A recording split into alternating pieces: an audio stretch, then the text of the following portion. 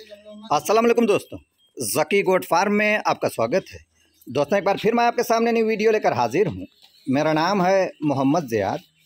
उम्मीद है आप दोस्त भी खैरियत से होंगे। दोस्तों, आज मैं हूँ खुदातपुर गाँव में और यहाँ जो मैंने बरबरी बकरा आपको दिखाया है और इनकी फीडिंग की टाइम है सुबह सवेरे की ये टाइम है। क्या देते हैं वो अपने बकरों को जो माशाल्लाह इतने अच्छे उनके बकरे तैयार हैं?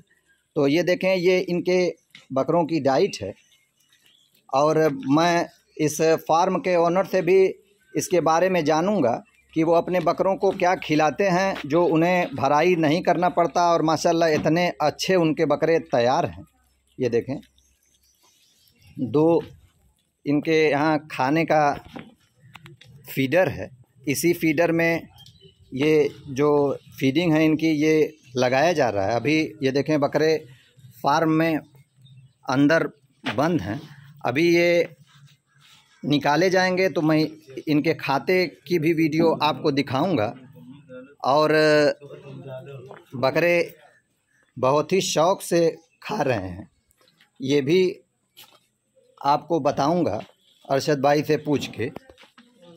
ताकि आप भी बिना भराई के अपने घर बकरे अच्छे तैयार कर सकें। क्योंकि अक्सर ये होता है कि जो नए लोग बकरे की भराई करना शुरू करते हैं, कभी तो उनकी उंगली बकरा काट देता है कभी कभी तो वो भर भी नहीं पाते हैं, क्योंकि शुरुआत में आदत डालना बहुत ही मुश्किल है। और फोर्स फीडिंग अच्छी चीज़ भी नहीं है कि ज़बरदस्ती किसी जानवर को ज़्यादा से ज़्यादा खिलाया जाए, लेकिन बिना भराई के कोई बकरा अच्छा तैयार भी नहीं होता, क्योंकि बकरों की जब टाइम हो जाती है, उनकी दो दांत के बाद छः दांत, आठ दांत जब बकरे हो जाते हैं, तब बकरे कम खाना शुरू कर देते हैं तो उनका वज़न वहीं पे रुका रहता है। उसके बाद जब भराई की जाती है, तब उनका वज़न तेज़ी से बढ़ता है।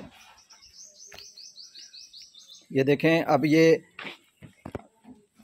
फार्म खुलने वाला है।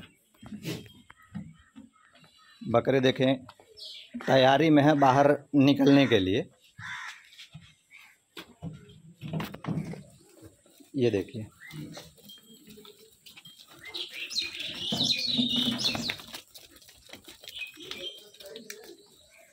ये देखें, माशाल्लाह, काफ़ी चाव से ये बकरे खा रहे हैं।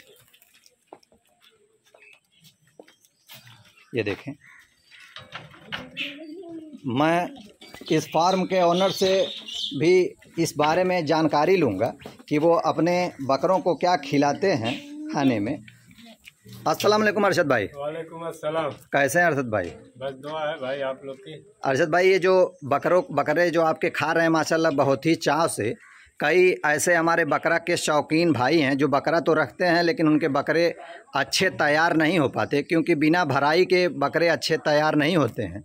लेकिन मैं जब आपके यहाँ आया हूँ तो आपका बकरा माशाल्लाह सारे जो बकरे हैं वो सब अच्छे तैयार बकरे हैं। क्या खिलाते हैं अरशद भाई अपने बकरों को? मैं भाई देखो इसमें जो है चना की चुन्नी लेता हूँ। जी। और गेहूँ भिगा करके खिलाता हूँ। जी।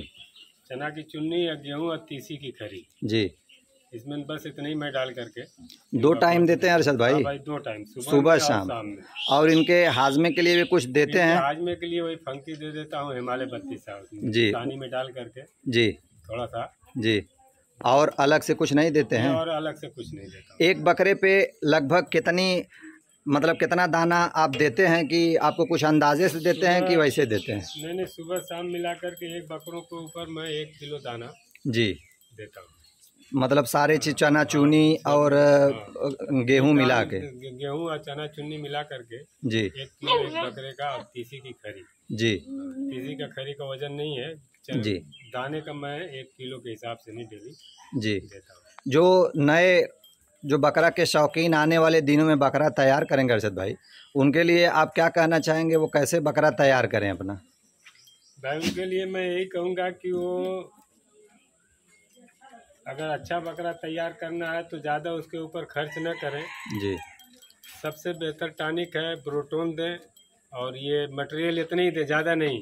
ब्रूटोन कितना दें एक बकरे को? अगर पचास किलो का बकरा है तो कितना बकरा है तो उसको कम से कम दस एम एल दें। एक टाइम टाइम दस एम एल दें। जी। हाँ इंशाल्लाह बकरा बहुत अच्छी तैयारी करेगा जी। हाँ। और ठंडी के मौसम में उनको मकाई वकाई दे दें जनवरी का थोड़ा सा जी। गर्म होती है। जनरी टूटी हुई दें कि हाँ। या खड़ी जनरी नहीं नहीं तो उसकी दलिया बना करके जी। दें उसको। अरशद भाई जो पिछली साल भी आपने बकरा तैयार किया था किसी वजह से वीडियो नहीं बन पाई थी वो बकरा आपका कितने में बिका था बकरा भाई? मेरा बकरा तीन बकरा भाई गया था दो लाख सत्तर हज़ार रुपये। कहाँ की पार्टी लग गई थी भाई? लखनऊ की पार्टी थी। जी क्या नाम था उनका भाई? साजिद भाई साजिद भाई करके थे। जी। वो लेके गए वो सेल के लिए लेग गए थे या कुर्बानी के लिए? सेल के लिए ले गए जी। दोस्तों ये थे हमारे अरशद भाई जिनकी आज आपने वीडियो देखी और इनके बकरों का फीडिंग भी देखी। दोस्तों, वीडियो पसंद आई हो तो लाइक करें, ज़्यादा से ज़्यादा शेयर करें, क्योंकि आपकी इस छोटी सी कोशिश से हमारा हौसला बढ़ता है। मिलते हैं दोस्तों अगली वीडियो में, तब तक के लिए इजाज़त चाहता हूँ, अल्लाह हाफिज़ दोस्तों।